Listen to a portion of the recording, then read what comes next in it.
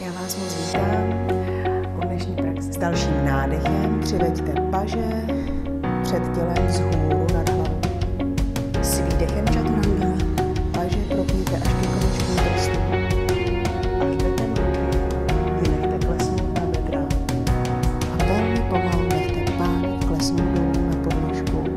Nádech na šest a výdech na osm dob.